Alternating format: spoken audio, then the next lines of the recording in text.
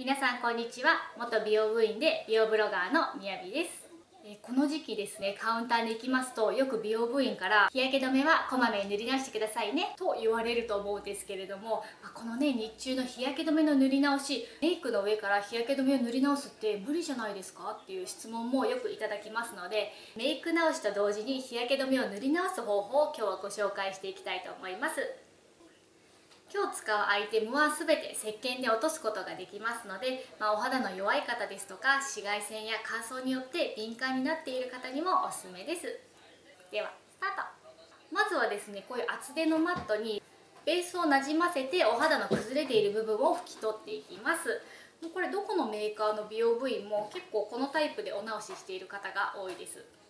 でこの時のベース選びなんですけれども、まあ、その方のお肌質ですとか日中過ごされる環境によって崩れ方が変わってまいりますのでちょっとそちらの選び方もご説明しようと思います、えー、乾燥肌で、まあ、日中室内で過ごされていてエアコンなどによる潤い不足による崩れの方には美容成分たっぷりのタイプを使っていただくのがおすすめです。で逆にですね、え屋外に出ることが多い方皮脂崩れしやすい方汗をかきやすい方にはパウダーインタイプの、まあ、塗った後にちょっとさらっと表面がなるような下地がおすすめです、まあ、私はどちらかというと乾燥でシワ落ちしたりとかお肌がしぼむことによって崩れ方をするタイプだったので潤いのたっぷり入っているタイプを使うことが多いです。で今日ご紹介しますのがこちらナチュラグラッセです。ちらですね SPF50 プラス PA プラス3つでブルーライトカットもついておりまして日焼け止めとしてもとても優秀です。ですのでとても保湿効果が高くって乾燥しやすい方とか、まあ、乾燥によって敏感になりやすい方にもおすすめです。これをですねちょっと振っていただいてマットに取ります。まこの時の量はちょっと拭き取っていただく範囲にもよるんですけれども大体このぐらいの量を取っております。でこれをですねしっかりとマットになじませます。でこれをちょっと崩れたこういう目元とか鼻小鼻周りとかをこう浮かび上がらせるように拭き取っていきます。はいでこのように崩れたところを拭き取れましたら次はですね私の場合はもうお年頃的に結構シワも気になるのでこう後肌がサラッとするタイプのアイクリームを塗っていきます、ま使っているのがこちらのベレダのタイプです。こちらもオーガニックでお肌に優しくって後肌がみずみずしくってサラッとしてますのでメイク崩れしにくくってとってもおすすめです。でこれをですね、まあ、指先に少し取りまして伸ばしてこんな感じで押さえていきます。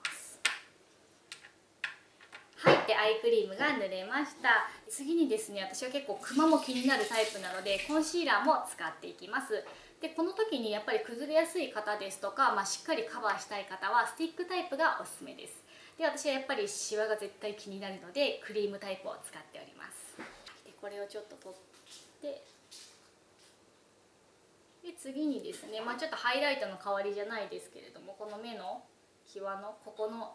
ところですね。どうしてもここツヤの欲しいポイントなのでここには明るめのコンシーラーをつけていきます。はいこのような感じでコンシーラー完成いたしました。コンシーラーが一旦終わりましたら先ほどマットの使っていない部分をちょっと折って小さくしていただいてしっかりとこちらなじませていきます。でしっかりマットで、えー、お肌となじませることができましたら最後に日焼け止めですね。こちらを塗り直していきます。私はですねバントルテのミネラル UV パウダーを使用しております。こちら UV カット最高数値の SPF50 プラス PA のプラス4つですのでしっかりと紫外線からお肌を守ってくれますおそらく皆さんですね日焼け止めを塗り直してくださいって言われた時にこれリキッドとかクリーム状のものをイメージされてると思うんですけれどもそうではなくって、まあ、ちょっとこういったパウダータイプで SPF 値の高いものをメイクの上から塗り直していただくそれだけでもう全然日焼け止めの塗り直しは OK ですのでこういったタイプお持ちでしたら是非お使いください。はいこれでベースメイクのお直しは完了です。今回も最後までご視聴くださりましてありがとうございます。またよろしければチャンネル登録コメント評価よろしくお願いいたします。ではまた次回の動画でお会いいたしましょう。さようなら。